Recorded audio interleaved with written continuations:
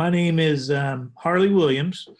I'm the Director of Operations for Bexley City Schools, and uh, I'd like to thank you for taking the time to join me tonight while I share the operational and safety side um, of the start of our hybrid in-person learning. Uh, I think it's important that I begin with um, that I, I'm sharing uh, operational safety, um, and I'm not uh, going to discuss a lot of the academic side of our return to in-person learning. And I know a lot of questions I received um, were, were, those types of questions. Um, I will make sure those questions get to the right person and um, we get answers to those to you as soon as possible. Um, I hope that those who uh, join this webinar uh, hoping to, uh, maybe we're hoping that they might learn more about the academic aspect of our program, decide to stay with us, because I believe that you'll find this presentation uh, worth your time. Uh, this meeting is being recorded and will be posted on our district website for those who could not attend or have to leave early. Um, and I guess I'll give you a little introduction of myself why people still might be joining our, our presentation here. Um, I'm embarking, I believe, on my 21st year with the district. Um, formerly served as a middle school principal for 10 years and a high school principal for eight years. Um, I guess the, the most important thing I want you to take away from my introduction is that um, I remain as committed to the safety and security of your children as I did when my three daughters went to school here. Uh, and I've um, we've been working, uh, our whole team has been working extremely hard to get this together. With just thinking in the back of my mind that there were about six months ago is when we actually started our, uh, the COVID school closure timeframe, and there's been a lot going on in those uh, six months. And I joked yesterday with our leadership team that uh, fortunately, from the operations part of our system, COVID hasn't had much of an impact. And uh, obviously, that was a joke because it's impacted everything that we've done. And uh, the six months here has flown by. And as I also said yesterday, it's been the toughest six months uh, professionally of my career. And there's so much responsibility and so much learning at stake. Um, so, what I do anytime I'm in a situation like that, I try to surround myself by a lot of smart people and do as much reading and learning as I can. And uh, I want to share with you today um, our collective wisdom. Um, this is certainly not just things that are coming from me. Uh, we're trying our best to look at best practices and uh, research and making sound decisions. Um, and we're flexible. We, we we keep we'll, we'll keep reviewing this, and I'll talk about that later on in the presentation. So, yes, uh, in case you've been wondering, we have spent all summer preparing for a return to in-person learning in our hybrid environment. Uh, currently, the transition from distance to hybrid is scheduled for Monday, September 21st, and, and that'll be here before you know it.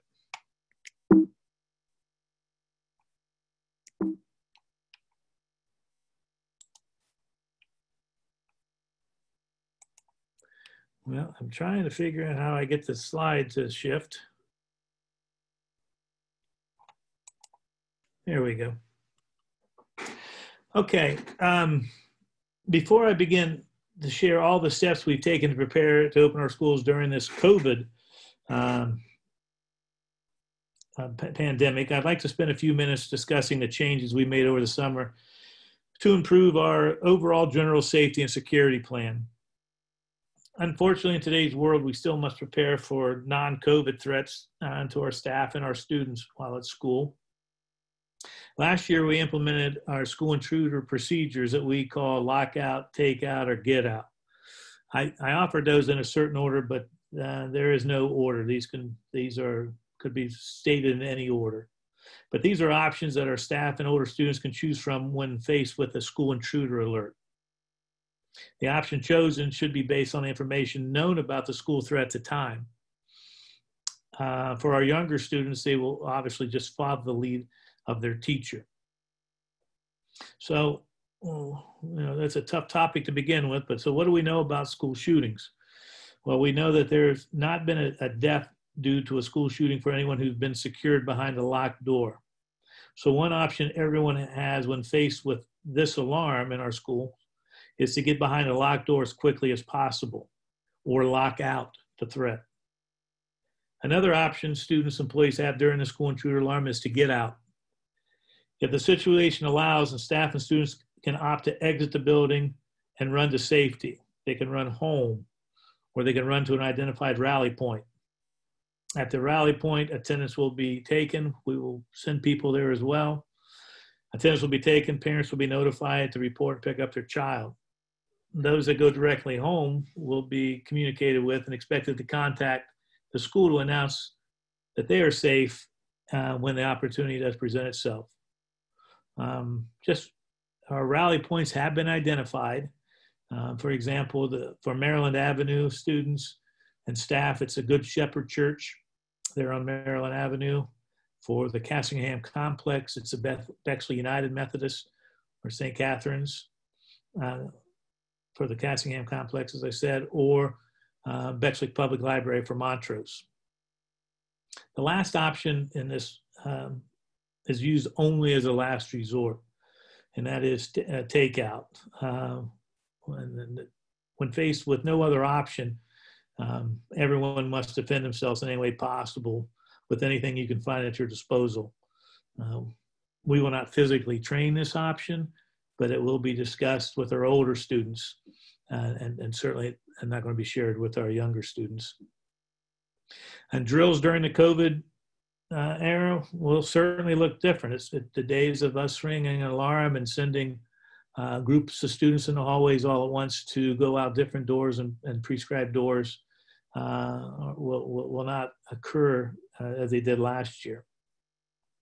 They will certainly uh, occur when appropriate and uh, when required, but we're going to be emphasizing a lot of tabletop exercises this year. And what a tabletop exercise is, is they're just basically age appropriate discussions that the staff have with students around a specific scenario. So it could be instead of packing everyone in our um, downstairs in the in the basement, when we're very close to one another during the COVID era, um, we might just talk about where we will go for a tornado drill, point out where the tornado um, shelter areas are in the building, uh, have those kind of conversations instead of actually going down and uh, practicing uh, that drill. Um, but we'll balance all that out with educational needs, safety needs, and uh, as well as the, the training that's required for us. Well, well, we'll try to find a good balance for that this year.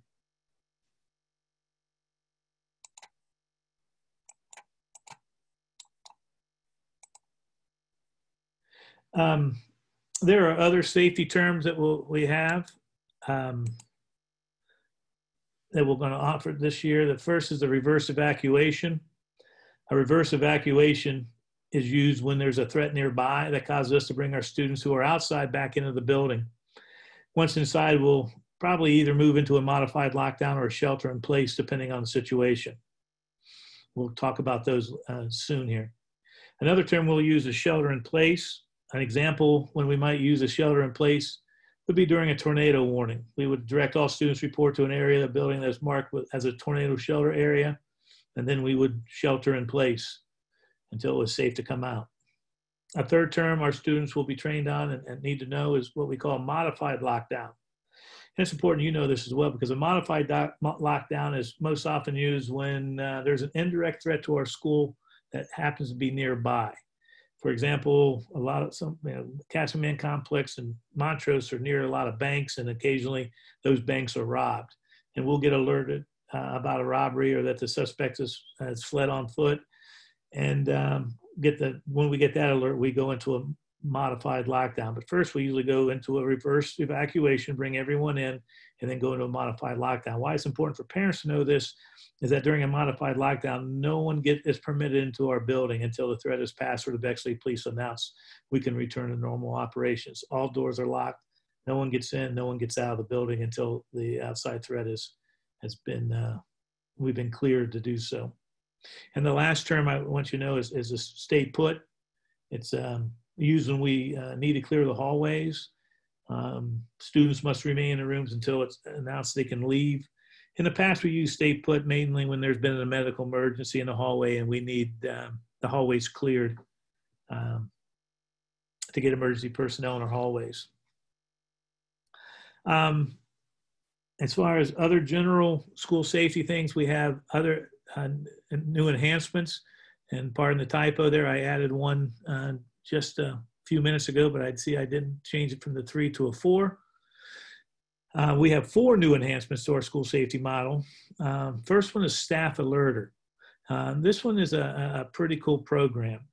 Um, Staff Alerter is an alarm and communication system that's instant that we've installed in each of our buildings. Um, we now have a beacon uh, and an alarm system installed in hallways that will flash and sound whenever we have a school intruder in our building, thus alerting students to either lock out, get out, or take out. It will also notify staff and students via email and or text of the threat as well, so we can stay in constant communication with um, both staff and employees at that time. Uh, and another thing that's nice about this uh, process is that the um, or they can be initiated by multiple people from multiple locations in our building. In the past, we've had to really rely on our PA system, and we're very excited that we have this system now that'll communicate very quickly. Uh, Mr. Eikenberry uh, has wrote and received a grant for 40,000 to allow us to expand these products and services in the near future.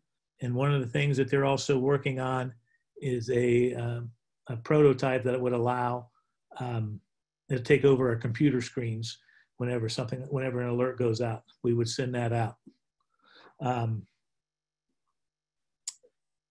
another uh, thing we like to share right now is a new digital radio system. Uh, the feature I like most about these radios, I won't go into all the, the, the gimmicks and things that we have on these systems and how uh, wonderful they are for us. But I think it's important to know we we have a, a, channel directly on the radio that we can um, select and immediately be placed on the uh, Bexley Police Department SOS channel.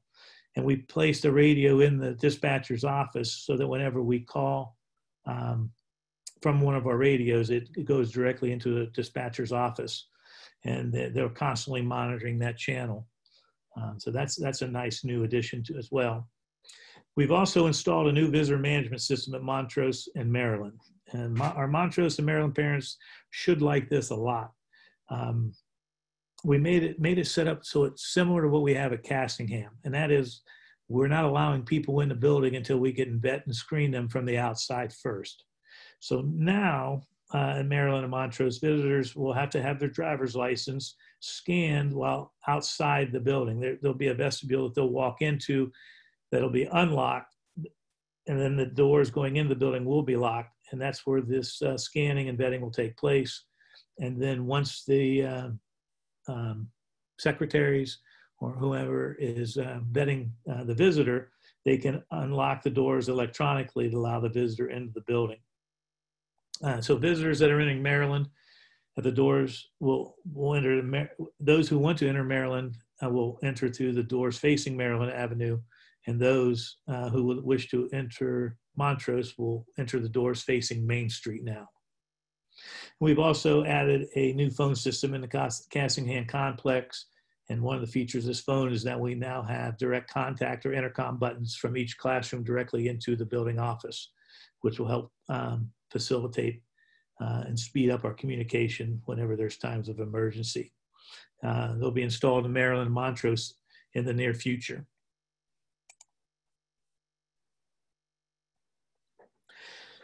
Well, let's start transitioning now to our COVID information. Uh, I thought I'd begin with a question I get asked most often, and that is, what will we do if someone associated with one of our schools tests positive for COVID? Well, um, Here's the answer. Our school nurses and I will serve as the district's, district's contact tracing team. And we'll begin preliminary contact tracing until Franklin County Public Health becomes involved and identify and communicate with possible exposures. Uh, we will contact and report the positive cases to Franklin County Public Health. And as per the recent uh, Ohio Department of Health Director's orders dated September 3rd, we will notify appropriate parents and staff and update our COVID dashboard on our website. It is not something that we'll necessarily share with the whole school community. Again, we'll, we'll share it only with appropriate parents and staff that, um, that need to know that information. But the, it's, it's viewed publicly on the COVID dashboard on our website. Finally, we'll clean and disinfect all applicable areas, and it's important to note, and I can't emphasize this enough, that we will protect the privacy of all individuals involved. So let's take a minute here to discuss contact tracing. We will contact trace for anyone who has COVID-like symptoms for three or more days or has tested positive for COVID. The details of this process can be found in our BCSD parent-student COVID-19 guide. Uh, those identified as having close physical contact will, with a sick individual will be notified to quarantine. If your student is not asked to quarantine, your student should return to school and continue with their protective measures as usual. Close contact is defined as being within six feet of distance of an ill person for an cumulative 15 minutes on a given day. So wearing a mask is known to protect everyone involved, but wearing a mask is not a variable considered during contact tracing.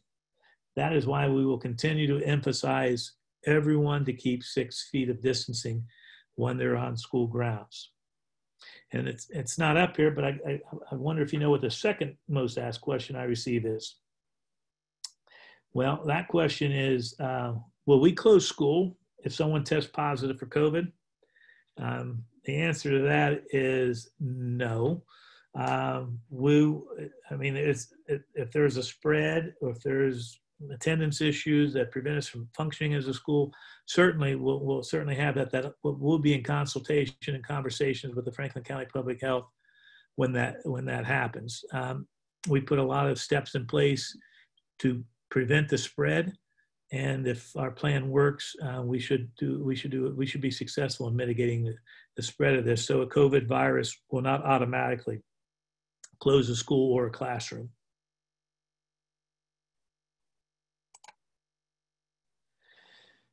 Uh, this this slide announces the goal for our summer preparedness work, and and basically, like I said, it's, it's a big responsibility.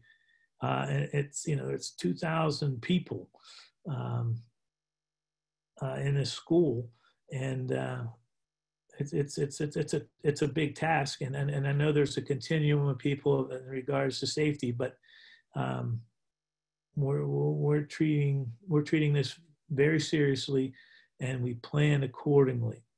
And so our goal, and, and, I'll be clear with this with everyone, our goal is to protect our students, employees, and keep them as safe as possible through the mitigation of COVID risks. And so the big question is now is how, how do we do this? Well, and actually we use the same model for our school intruder and other threat assessments, our th risk management things in our school. And so we'll, we'll use this for um, COVID as well. Um, so how we will mitigate COVID risk can best be answered by stating through the use of multiple strategies. Uh, and, and, I'm going to emphasize this uh, often, and that is we realize, I realize, we cannot eliminate the risk of COVID. Um, it will probably enter our schools. It's very likely it will, and it already has but uh, but we can take multiple measures to mitigate mitigate our risks and and stop COVID's ability to spread throughout our schools. Uh, we're confident in that. While there is debate about the effectiveness of individual preventative steps, it's widely accepted that layered approach is the most effective. And this Swiss cheese model is not something we've created. It's actually attributed to Dr. James Reason. And this Swiss cheese model basically um, it's where the gaps in effectiveness from one approach is covered by the others. That is a model we're using to mitigate COVID risk here in the Bexley City School District. So um, we, I used to be in the National Guard. We had a little uh, sign on our in our in our armory that talked about who was the uh, safety safety compliance officer. Usually, we had pictures of all of the people who had different roles in our in our unit. But in that picture, it was a mirror. And when it said, who is it, uh, this unit's safety compliance officer, and I'm taking, taking that same approach in this process, and that is we all are. Um, staff, students, uh, it's this is everyone's responsibility. It's going to be a shared responsibility. Um, students can correct an adult if they see something um, that's unsafe. Uh, staff will certainly will be correcting students when they see something unsafe. And we just have to uh, all agree this is our responsibility. Ultimately, as director of operations, it's my responsibility, and uh, I'm going to be vigilant in, in that in those efforts. But uh, I'm expecting a lot of help um, from staff, students, and, and the parents um, in our community.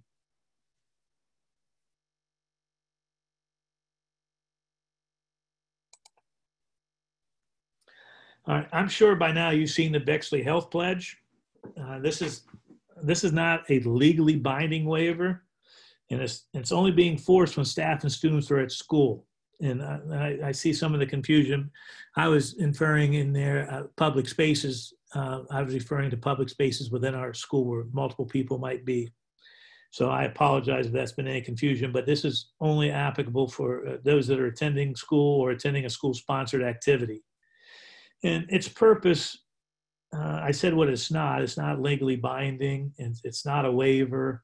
Um, but what it is, is it's to serve as a weekly reminder of the important role that we all have in keeping each other safe uh, from COVID. And I've been asked, will there be punishments for those who not follow the pledge?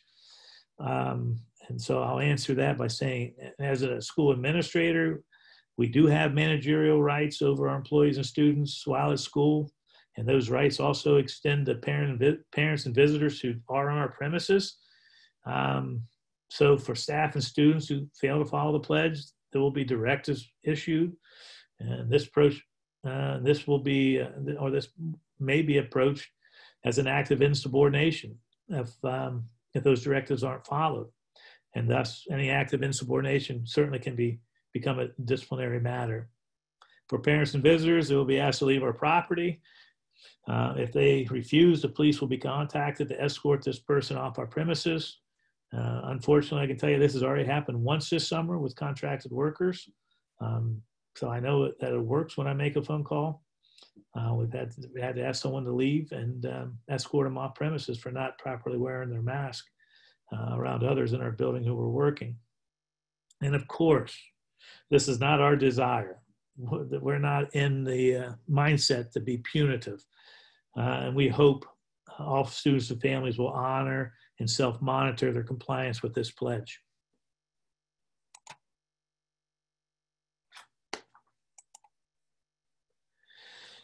All right, so um, what types of communication do we have? Let's talk about what we expect from you first. Usually I like to start with what you expect from me first, but I want to uh, start with you. And I think our expectation well, I know our expectation is that we want you to notify us immediately if you or someone in your family has tested positive for COVID. And, and there is no shame in this. It can happen to anyone. And I, I can tell you, I, I've been as cautious as anyone can be. And uh, I know that when I go home tonight, I have my 97 year old father in law who's going to be there, who's just arrived, going to be spending a week with us as we help take care of him. Um, and I'm scared to death that, and I'm hoping that every precaution that I've taken uh, is a good one, and we'll take certainly take precautions in the house while he's there. Um, but it's nothing to be ashamed of. We know everyone's doing the best they can, um, so we're asking you to um, notify us. And now I, I can tell you an, another thing. It's it seems to be ironic, or at least a pattern. We've had maybe four or five cases in the athletics um, and other cases uh, over the summer in the school and beginning of the school year, and it seems to always occur on a weekend. Weekends, it's always harder to get in touch with people, and uh, for us to know. And as we know, time matters. I mean, if, if, if you've been in close contact with someone who's tested positive for COVID, I want to get you that information as soon as possible so you avoid uh, the, the dinner with the, the parents, uh, grandparents, and things like that. And so we've created a, a, Bexley City School District COVID online reporting document on our website. It's on the top of the page on our main uh, landing page on our web homepage.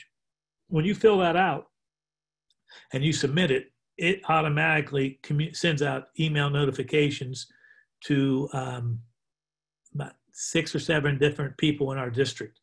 And so uh, I'm, I'm one who's constantly on my phone checking my emails all the time. It's a, a vice I wish I could break. But um, someone will see that. Someone will get in touch with the rest of our contact tracing team, and we'll start working uh, on the weekends if we need to, and we'll communicate with everyone as soon as possible. So we're at. We just want to point those areas out um, to you and make sure you know that they exist. Um, and and I, as I said, we have uh, uh, put together a document that, uh, and, and, we had a lot of things to work on this summer, but we we thought that it was best if we created a document because it also it serves as a nice reference for me as I was trying to to learn what happens if this happens, what should we do, and if that happens, what should we do. And so we started coming up with a bunch of questions, and we use those questions to guide the creation of this document. And that document's been shared with you. This document is uh, fluid, it'll, it'll, change, and we put on the uh, header of each page uh, the date that they've been changed, and we're going to make significant changes in, in, red font so that you can see them if you've already read the document. Um, and there's other information around mitigating uh, risk of COVID on our Bexley City Schools um, back to school page at the top of our website. We encourage you to check those out as well. So let's spend a little bit more time on that Bexley City School District parent student COVID guide that I was mentioning earlier. The, um, this guide offers an overarching view of our practices. Uh, we try to put a lot of information in that. It wasn't it's not designed to be building level specific uh, for everything and answer every building level question because every building is different. And we wanted our, our administrators and teachers to have some discretion in how they implement best practices and protocols. But it was designed to provide specific district procedures and guide our teachers to review and, encouraging our and guiding our teachers to, re, to use research best practices and other public health recommendations when possible. So for example, in this document, we provided general guidance for our performing arts teachers uh, while we were waiting for more specific guidance through a study that we were waiting uh, for from the University of uh, Colorado study. So our performing arts teachers reviewed and will implement many of the suggestions offered in this study, even though they are not specified in our parents student uh, COVID guide. But if you do have specific questions about the mitigation of risk with individual teachers or individual classroom, uh, that your child might be taking, uh, taking, uh, taking this year, please contact that teacher, uh, and I'm sure it'll be a, addressed in that teacher's curriculum night presentations. So this document, like I said earlier, it's it's it's it's been it's been a uh, it's been a it's been a, a while to put together, and it has involved a lot of different people. And this product has been the culmination of a, a, lot of people put a lot of time in, and, and, and everyone's been busy, and, and we appreciate the time that we've given. But I've had teachers, I had coaches, I've had other administrators, I've had a board member, we've had uh, five or six doctors, epidemiologists uh, that were on, within our community that, that served in the creation of this document. And uh, we've spent um, virtual meetings going over line by line and just discussing and debating what's this should this read? Is this reading the way we want it to be? And to make it so that it it, it is a, a, a hopefully a clear document for you. I know we know it's not a perfect document. And if there are questions you have that you can't find and what we've done is that's a big document it's 40 some pages but all you really need to do is if you could review the first three or four pages on their table of contents we try to, to categorize um, the FAQ type questions that you can find. Click the link and it'll take you right to that page. So you're not really nice if you read the whole document, but if you're trying to search for something fast, I would suggest you use the table of contents and click the link from there. Um, but if you see if you have see something that's not on there, send me that question. I'll bring it up to the team, and we'll certainly get back to you with the answer and, and include it um, in our um, handbook when we meet um, which we, we are continuing to meet during this time as well. I, I wanted to say this, and I also want to I, I you know, that even though this document represents our collective wisdom, we know it's not perfect. Um, I just I can't thank the members of our task force enough for helping me and and and, and helping me uh, become more knowledgeable in this area and um, and and to create this document. And there are too many to acknowledge, but there is a page in this guide acknowledging their service to our district. So once again, I'd like to uh, thank this group and let everyone know that um, this is not a final document. We we will we're scheduled to meet every few weeks to talk about new findings, new guidance, new questions that maybe we haven't thought of. Um, so if you if you have new questions you can't find, get in touch with me. Okay, well, um, the first mitigation that we of risk that we have in place, it's and, and, and this is what we're, we're we're preaching to everyone, is assume everyone you come in contact with has COVID. Behave that way, and if you do, more likely you're going to stay safe and you're not and you're going to re- stop the spread um, should, should, should you become exposed. So, you know, if I that means I'm wearing a mask and I'm around someone. I'm um, keeping my distance. If I have to be within six feet of someone, I got a clock in my head that starts ticking for 15 minutes. And I know that's that's a general statement, but that's the guidelines that we're using. Uh, and we know there there are situations where that's not going to be the case. Um, but that's what we're using for contact tracing. Um, and we think this is something that everyone can understand. Um, and uh, we're going to help our younger students with this as well. All right, we have other layers of mitigation that we have. We have a lot of different layers of mitigation or pieces of slices of cheese, if you will, that we have in place. One where we are requiring uh, everyone on school property wear a face mask. Um, and they must be properly worn. Uh, and when I say worn at all times at school, uh, that includes recess. The only time uh, these face masks can be removed is during lunch, uh, when medical, when while students are sitting and eating, um, or when they're outside and physically distanced and have the permission of an employee to remove them. Uh, we want this to be controlled and under supervision when we do that. Um, and again, as I stated earlier, not wearing a mask will be considered an act of subordination. And if you read that document, we have come up with medical um, exemptions to this. Um, and uh, I'll, address uh, I'll address those here in a little bit. Um, but we do encourage staff and students to bring their own masks to school. Um, but we have purchased over 10,000 masks that can be distributed to those who, who are in need, uh, who string breaks, uh, who forget to bring their masks, things like that. I had a, I had a question too about neck gaiters and the study behind that. Um, so let me explain why we're not permitting neck gaiters. Uh, we, we did see a study and, and from Duke that indicated that single ply neck gaiters were basically as effective as not wearing anything at all in the spread of respiratory droplets. Um, and, and, and again, we didn't go through and do a peer review of the study or anything like that. And we chose to take it, take that study at its word, but we chose, um, but we, they did talk about a double ply gaiter being more effective. Well, we thought about it for a while. We thought, well, we can't we can't determine whether a gaiter someone's wearing is a single ply or double ply. So the easiest thing to do is just not allow them to be worn. So that's where we are in that position. And, and, and back to this, that people have medically documented reasons for not wearing a mask. Uh, these individuals are entitled by law uh, to accommodations and certainly privacy. And so if, if there is that need, um, people will not, it won't be publicly, it won't be a public notice issued about this, but I assure you that we will have, um, for those that medically documented reasons not to wear a mask, we will have multiple layers of uh, accommodations put in place in privacy if that um, if that needs to occur. Um, certainly, if that was the need, we might get people uh, remote working assignments, um, offer things such as extended learning and things like that. But that is um, something that we're prepared for and we'll be able to address And, and again, this process is developed to make any accommodation to ensure that any individual and others are safe while participating in their education.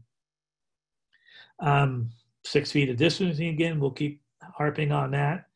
Um, and again, if you can't do this, you know, I don't want people, I don't want our students when they pass somebody in a hallway to panic and say, "Oh my gosh, that person was less than a foot away from us." And so we're going to be stressing uh, for, you know, for for more than 15 minutes. So if you have to be by someone, let's do so in less than 15 minutes. Um, this standard is used for everyone in our district. Uh, monitoring this, as stated earlier, is everyone's responsibility, but we understand that our younger students will need help in monitoring their behaviors and keeping track of this time. So our teachers are prepared to assist our younger students with this. Um, and also we're going to be emphasizing washing and sanitizing our hands often. Um, every classroom has hand sanitizer. It has soap and water dispensers, uh, spray bottles, has paper towels. Uh, we've, we've set out every single um, disinfectant wipe that we have while we're, we've ordered a ton more. We're just waiting for them to get here. Um, so we, we're trying to set the rooms up so that can happen. And so our teachers will probably use phrases with the students about wash in and wash out or sanitize in and sanitize out. The expectation will be that every time somebody enters a room, they're going to use hand sanitizer. And every time somebody exits the room, they're going to use hand sanitizer. Um, we put hand sanitizer stations throughout our hallways, uh, outside every entrances. Uh, we know some of our students will still have to keep our doors secure and the keypads will be used. And so when students, you know, put their bikes in the bike rack, they open the door, they, they or excuse me, they probably use the keypad first, they unlock the door, then they open the door, and then uh, right there will be a uh, sanitizing station for them to sanitize their hands. So if you can help keep telling your students that they're there for a reason, so use them. Um, our custodial team will be frequently cleaning touch surfaces such as handrails and restrooms, doorknobs, cafeteria tables, often throughout the school day. Uh, we'll create additional barrier, barriers such as desk and, and uh, cafeteria, excuse me, cafeteria table dividers for each student as well. The, the barriers for in the classroom on the desks are transparent, so it allows teachers to see in and um, students to see out. Um, they might not be perfect, but I, I think that they uh, are another layer uh, mitigation that we purchased. I think we purchased a, almost 1,500 of those, and those are who will be distributed to our teachers in their classrooms uh, next week and prepare so they'll be prepared for the start of school. Uh, also, uh, we have a lot of open areas uh, that need uh, additional barriers, such as those occupied by our secretaries and cashiers. And we've, our custodial team has been creating transparent barriers using plexiglass and shower curtains. Um, and I, will tell you that uh, uh, we've been using shower curtains now as much as possible. plexiglass supply is low. Uh, and if remember your economics 101, the plexiglass prices have skyrocketed from 30 to 40 dollars a sheet before this to over 200 and some dollars right now is one one last one of our last estimates. So they're hard to get right now. So we we created and been creative, and our custodial team and maintenance team have created um, portable as well as stationary um, barriers using uh, shower curtains and the, the, limited plexiglass that we have um, pretty cool stuff, and and, and uh, we're happy and appreciative of their efforts. Another question that we get uh, asked a lot is about our classrooms that don't have windows. Um, yeah, it's it's again, it's not perfect. Um, we wish all of our classrooms have windows, but that's not the case. But when this first happened, I think I was reading uh, I mean, uh, John Eichenberger, business manager, uh, uh, we're talking about an article. I think it might have happened in China, where the virus was spread. At that time, was reported through the ventilation system. Uh, we immediately brought in an HVAC consultant back in April, and we wanted to review all of our HVA systems to find out um, were we um, in a safe area, in a safe zone for this? What procedures should we take during a COVID era, stuff like that? And so uh, we learned a little bit about that too. So uh, I'll probably talk to you like I, I, know what I'm talking about, but I know enough now that say that these filters are given a MERV, a MERV rating uh, from 1 to 16. And there, our consultant stated that in a COVID environment, we must have at least a MERV 13 uh, rated or higher um, filter. Well, what we discovered is that all of our filter and, and the system itself has to be able to handle the filter.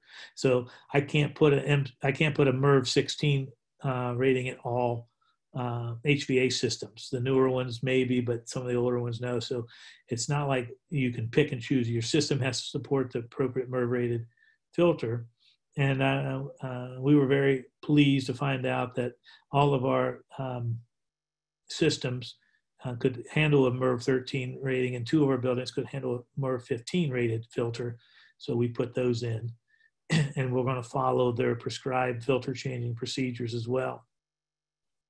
Um, we're also encouraging our teachers to open windows um, when weather permits, as long as those windows can be opened and remain safe, open safely. You know, some of these buildings are quite old, um, so we want uh, make sure the windows can be open safely, stay open safely. Um, we've researched the practicality of air purifiers in uh, rooms, especially those without um, windows, and found that air purifiers don't offer much protection in most circumstances. And so, but we, what we have done is uh, in our larger areas um, where the spread might be more um, risky, such as our um, gyms and theaters and choir and band rooms. We purchased uh, a couple dozen of those large industrial size oscillating fans that can be used to help um, dissipate those those droplets, and so those will be uh, placed out there and, and and help reduce the spread as well. And I think I said cafeteria, but it'll be in our cafeterias as well.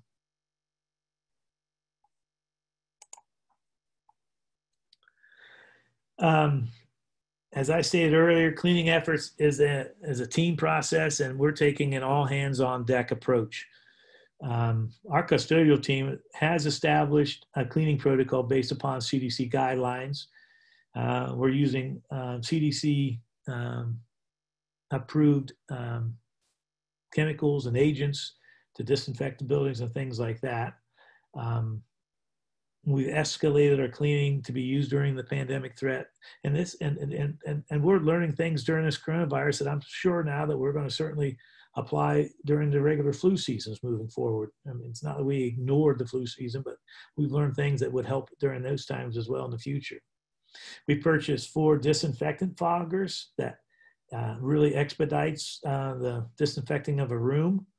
Um, we've done studies. We've calculated that disinfecting a room basically takes an additional 20 minutes on top of the, uh, an average of 20 minutes per room on top of the, of the, the cleaning that happens. So asking our students and staff to wipe down desks and stuff before they leave a day, if that saves our custodians um, any time at all, that, that, that saves us time uh, in our, in our uh, disinfecting areas as, as well the disinfecting will not occur every day. We'll be using soap and water and other uh, uh, cleaning pro processes in the rooms on, on most nights. But when we need to do it, it, it can happen uh, expeditiously now. Um, again, our custodial staff will disinfect all of our work areas, our countertops, our restrooms and doorknobs, water filling stations, stair railings several times daily. Um, They'll clean all hallways, common areas, and outside of lockers um, using, like I say, CDC approved products um, based on the CDC reopening guidance that we received. So during a hybrid instructional model, our custodial team will increase high contact areas throughout the day, increase cleaning of those areas. Um, to help manage this, we are increasing our first shift custodial staff by three um, once school begins to assist with this. And even with this support, we're still keeping an all hands on deck approach and getting everyone to help us wipe down desks, light switches, use classroom materials and things like that during the day. Deep cleaning and disinfection spraying will occur each Wednesday and on the weekends during the first and second shifts uh, on those days. There will be some weeks that are shortened and will not allow us a full day to clean and disinfect between groups. Um, our plan during these weeks is that we'll conduct our cleaning and disinfecting during the second and third shifts, and we'll uh, obviously have to increase our manpower uh, to get this done through limited through the limited time that we'll have. But we'll use subs and overtime if necessary to, to make this happen. So you can rest assured that um, it will be they will be sanitized um, between breaks between A groups and B groups.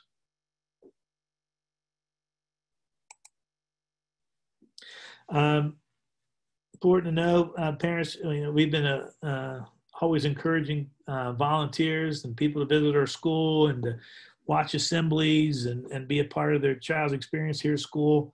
Um, but during this hybrid model in a COVID world, we are limiting visitors to our building. Uh, limiting, not eliminating. We'll be limiting visitors, but we will be eliminating volunteers uh, until further notice. Um, principals will have discretion as to who can have access to their bu- buildings.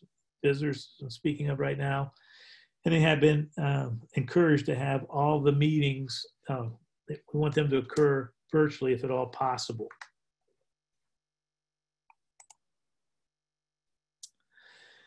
Uh, one of the other things that we were worried about, we know there's a lot of travel uh, that occurs in our community. And um, so we would just like to be informed when you're having these meetings. Uh, um, it's not something we can enforce. I, I, we're not policing this. Uh, we're requesting, and we hope that the reason for our request uh, are valid enough that you honor them. And that is basically, we just want to uh, know that uh, where, if you're going to a COVID hotspot, um, what precautions you'll be taking during the trip. And then we might have a, a, plan that could include, um, well, we could say, you know what, based on where you're going, and even though you're taking all the steps, we think it's best that you quarantine for 14 days. Uh, it could be, you know what, you're not going to a hot spot. We think you're going to be fine, but you're going to a wedding and there's going to be a lot of people there. And we're worried about that. Maybe we'll allow your child to come to school during those days and we'll frequently uh, temperature check and symptom check throughout the day um, if that's okay.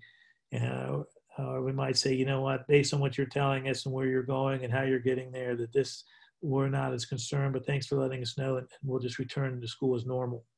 But we'd like to we'd like to be involved in those conversations so that um, we're just in the know, and uh, so we would appreciate that.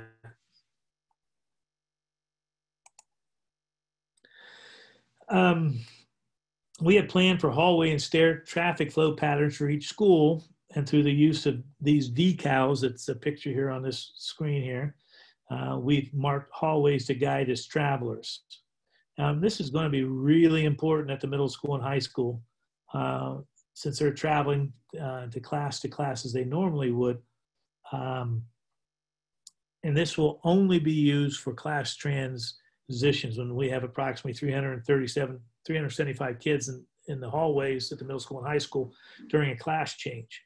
Um, we're going to resort to these type of traffic, but let's imagine it's in the middle of the class period and the student has permission to use the restroom um, and the hallways are clear. Uh, we're, not, we're expecting them to get to the restroom and get back uh, maintaining their six feet of distancing as quickly as possible, they can they can travel to that restroom in the in the you know the the quickest route uh, possible. So this is these would be designed primarily for class changes, or if we have large group of kids in a hallway that we need to use. Um, you know, and, and some hallways will, you know, we just can't do it. If you've been in our building before, you know, it's it's been put together like a puzzle sometimes, and we can't have all of our hallways one way. Some of them will be two-way traffic, and especially at Maryland Avenue, there's just no way to, to make those hallways. So we'll be dividing the hallways with blue tape and encouraging kids to stay on the right or left-hand side as they're crossing each other. Um, to mitigate the risk of student groupings, building principals, I said, I've implemented a few policies that I'm, that I'm aware of as well. And I know some have extended time between class periods. Um, to give students more time to get uh, where they're going uh, and, and, to allow them to use this traffic flow pattern that we've designed. Uh, not permitting students to use the restroom during class change so that um, you know the capacities that we've set for each restroom can be better managed. Um, I, I, believe restrooms will occur once class begins, uh, as I said, to better manage the number of students using the restroom at any given time. Uh, restrooms do have signs indicating maximum capacity and set up to ensure physical distancing. Um, some urinals have been uh, taped off, closed off. Um, our, uh, most of our toilets have automatic flush sensors now, and, but some sinks do have spigots. And those that do have spigots um, that need to be turned off manually um, do have paper towel dispensers nearby, allowing students to wash their hands, dry their hands with a paper towel, and use that paper towel to turn the spigot off and uh, before throwing that towel away. Uh, administrators are not permitting the use of lockers during this time to keep the hallway traffic flowing. Um, I got a lot of questions about that and students at the middle school and high school will be permitted to carry a book bag as well as their coat.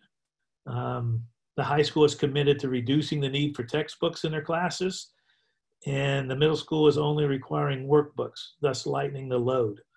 Uh, so, so, thus, um, all the school needs that the student is required to have uh, serve their role as a learner should fit comfortably in the student's book bag.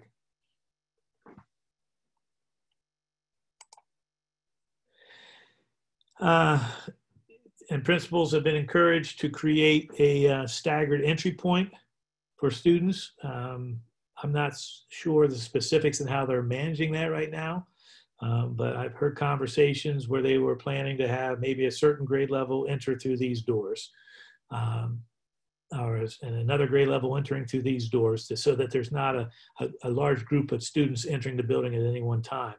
I know we discussed the possibility of staggering times. Uh, that's kind of hard, and we're already reducing so much instructional time. Uh, I, I, think we're if they if they are using stagger times, it'll probably be very minimal differences in time. Um, but we're focusing on staggered entry at this point. Um, and again, as I stated earlier, um, they are reducing number of students hallway at any given time as best as they can. Um, we are turning off all water fountains. Um, and we do have a few water bottle filling stations. Um, we ordered uh, back in early July water filling sta- uh, more, I think seven, eight more that we're going to install in the other buildings as well. Um, unfortunately, we they were supposed to get those in um, by the uh, middle of August. Uh, we've been checking um, every other day with the company.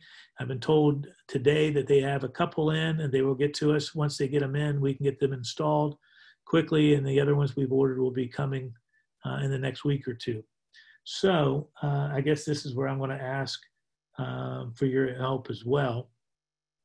Um, we're asking parents to send a water bottle to school with their students in, in, in, the time being, for the time being. And if you could write the name of the students write your student's name on the water bottle, that would be helpful. And, and now, now that I mentioned about being helpful, I want to suggest you go ahead and write your name on the on your child's coats and lunch boxes because you'd be amazed at the items that we that fill our lost and found. And if we could just find a name, we could make sure it gets gets back to the right students. Um, just another tip there, I guess. Um, also, our clinic procedures have changed, and I can't thank our nurses enough for all that they've done and all the help they've given over the summer and um, communication. But they put together a really good plan as well, and I'll share with you some of those points. Uh, they uh, are sitting students uh, seating will be implemented in the hall outside of the health clinic as needed to to help physical distancing occur in the clinics. Um, Clinic visits will be limited to those who require medical treatment only. Behavior and mental health issues will be referred to a school counselor or building principal. Um, they're going to be discouraging teachers from sending students into the clinic in pairs or groups when possible. Um, students, we know students who are injured or ill, uh, if they're able to be sent alone, they will be, and not with a friend. again, exceptions will apply. Students that uh, staff member with diabetes, uh, one who might be actively bleeding, or anyone requiring physical assistance will certainly have someone escorting them to the clinic. And during the time, due to during this time, due to the pandemic, um, we're asking another favor of you, and that is to administer your morning medications at home if at all possible. Students uh, who must receive medications at school will receive those medications in the health clinic at staggered times, and the nurses will be working with those parents to determine that time. Uh, and again, as a way to limit uh, cohorting or grouping uh, in the clinic. Um, while the health clinic uh, while in a health clinic, students and staff with chronic medical conditions will be adequately isolated from any ill students.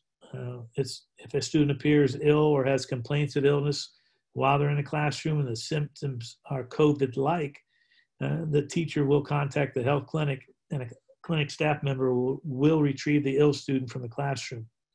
Each building will have a designated isolation room that will house the student until the parent arrives to retrieve their child. And again, we need your help with this. We understand that this is not convenient for parents who are working and need to be at work, and, and we'll apologize in advance, but um, we're asking that you make plans for someone to be able to pick up your child um, should we call you within an hour of that notification.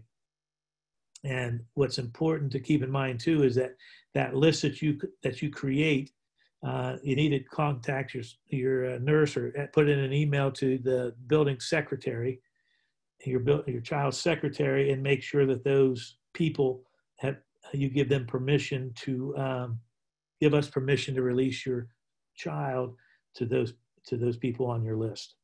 Um, please and please make note of that. Uh, our the cafeteria procedures will also be changing. Um, we will set up the cafeteria to ensure at least six feet of distancing occur when others are eating. Um, elementary, it, that, that's be in the middle school and high school students. Elementary students uh, will have their lunches served in their classrooms. Uh, and once served, they'll be encouraged to go outside to eat when possible. Our middle school and high school students will utilize our cafeteria and overflow areas if necessary. Our cafeteria seats uh, will, seats will be spaced out six feet uh, between seats. Uh, high school students um, still have the option of, of going out for lunch, um, have an open lunch. And um, it's important to say that not only are we spacing the seats out in the cafeteria, we're putting uh, uh, dividers, table dividers up on top of the tables to further protect our students while they're eating with their masks off. And as you can see that we're not permitting any outside groups to rent our space. Um, and unfortunately, that also includes Bexley Rec um, as well. Um, well, that brings our presentation to an end. Um, I tried to answer as many questions as I could in the hour that we that we had, and uh, um, like I say, I'm going to be posting a copy of this on our website if somebody would like to watch it or couldn't watch it later. I encourage you to review the Bexley City School District uh, Parent Student COVID Guide uh, should you have any questions. Um, but if you can't find an answer there, please feel free to contact me at, at oh, I have a typo there and I apologize for that and I'll correct it. Uh, no, I guess it is, it's correct there at harley.williams at bexley.us. Um, so with that, I will, and again, if you send me a question, I'll get back to you as expeditiously as I can. Um, and with that, I'd like to again thank you for your time and uh, wish you a good night and a, a, successful start to our hybrid, which again is, uh, is scheduled to occur on Monday, September 21st. Good night.